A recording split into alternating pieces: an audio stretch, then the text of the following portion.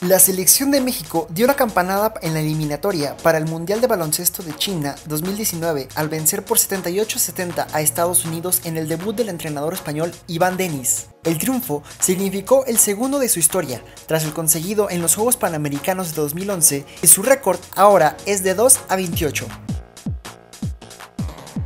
En el Estadio Juan de la Barrera de la Ciudad de México, a 2.240 metros sobre el nivel del mar, el equipo de Denis comenzó de forma aplastante al tomar una ventaja de 18 a 0 con una defensa infalible que sorprendió a los estadounidenses. Liderados por Gustavo Ayón, campeón de Europa y de España con el Real Madrid, y con buenas actuaciones de Francisco Cruz y Orlando Méndez, los mexicanos no dejaron jugar al rival y acabaron el primer cuarto con una ventaja de 31 a 10.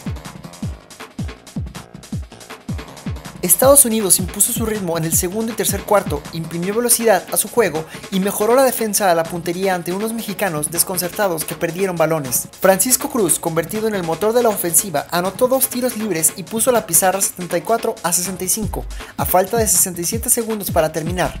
Reggie Harn cometió una falta ofensiva que hundió a su equipo y a partir de ahí los mexicanos se limitaron a mantenerse concentrados para asegurar la victoria.